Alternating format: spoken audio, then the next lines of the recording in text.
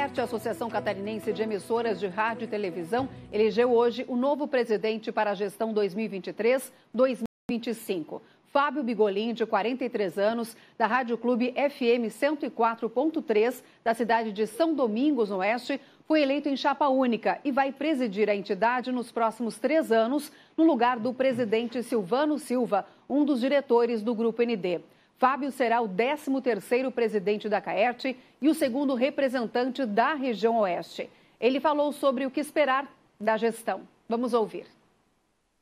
Essa nova gestão que se inicia em 2023 até 2025 busca dar continuidade nesse trabalho com muita serenidade, com muita sabedoria, com muita coesão e firmeza nas nossas ações, para que continuemos todos juntos fazendo a comunicação, a CAERT, cada vez mais forte em Santa Catarina e, por que não, em todo o Brasil.